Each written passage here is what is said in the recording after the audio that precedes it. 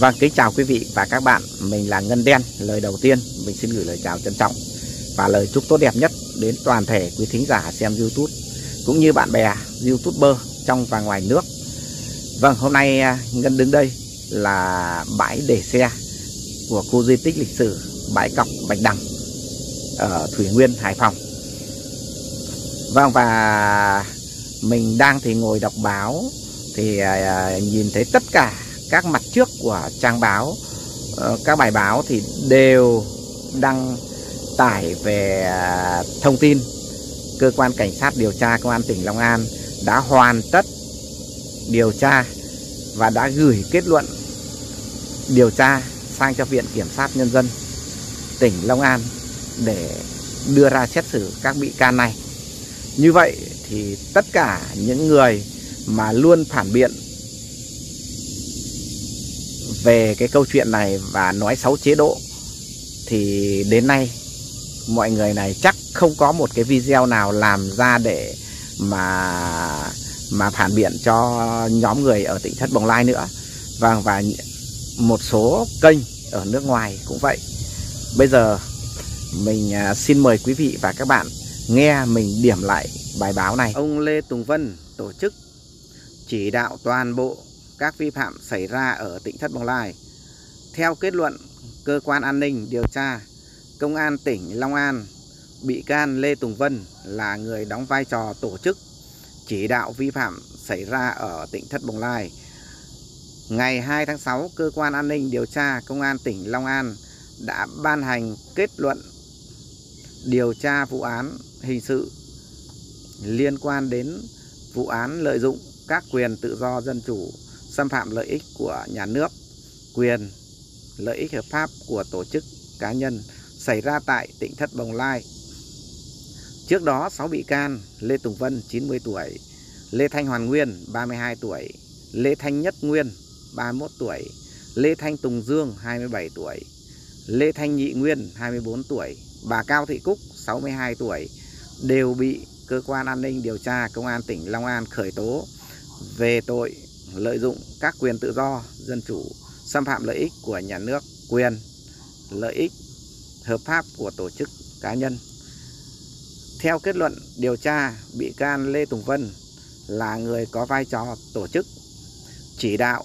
để hai bị can Nhất Nguyên và Nhị Nguyên tạo ra các tài khoản mạng xã hội.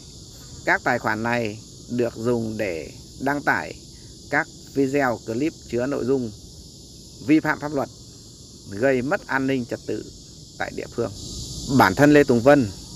cũng là người trực tiếp có những lời nói phát ngôn xuyên tạc giáo lý xúc phạm Phật giáo, xúi dục mọi người không tôn trọng tôn giáo và pháp luật. Trên các tài khoản mạng xã hội, bị can Vân cũng bị đề nghị truy tố theo tình tiết tăng nặng vì phạm tội có tổ chức và phạm tội hai lần trở lên. Các bị can Nhất Nguyên, Hoàn Nguyên, Thanh Nguyên, Trùng Dương và Nhị Nguyên được xác định có vai trò là người thực hành theo sự chỉ đạo của bị can Vân để tạo lập, quản lý, sử dụng các tài khoản mạng xã hội và cùng dàn dựng, biên tập video, clip có chứa nội dung vi phạm pháp luật. Còn bị can Cao Thị Cúc là người đã thực hiện chỉ đạo của bị can Vân để trực tiếp tham gia thực hiện những nghi thức thủ tục cúng bái, quỳ lạy trong các clip, đồng thời trực tiếp tham gia và có lời nói xuyên tạc, xúc phạm uy tín của công an huyện Đức Hòa. Hiện cơ quan điều tra công an tỉnh Long An đã chuyển hồ sơ sang Viện Kiểm sát Nhân dân cung cấp đề nghị xem xét truy tố 6 bị can này cùng tội danh trên. Vâng, quý vị và các bạn, chúng ta nghe xong cái bản kết luận của cơ quan cảnh sát điều tra công an tỉnh Long An này thì các bạn mới thấy rằng là ông Lê Tùng Vân rất là giỏi. Vâng, ông sẽ đã điều hành được tất cả những nhóm người để cùng nhau phạm tội, mỗi người uh, có một việc khác nhau và cuối cùng thì à, họ cùng dính vào bộ luật hình sự của Việt Nam, tức là điều 331 của bộ, bộ luật hình sự. Vâng, sau cái bản kết luận này thì đến bây giờ chỉ chờ Viện Kiểm sát Nhân dân phê chuẩn vâng và quyết định đưa vụ án này ra xét xử là lúc đó thì ai bị tội danh như thế nào thì rõ ràng vâng và ai bị bao nhiêu năm tù thì chúng ta sẽ biết ngay sau một thời gian nữa.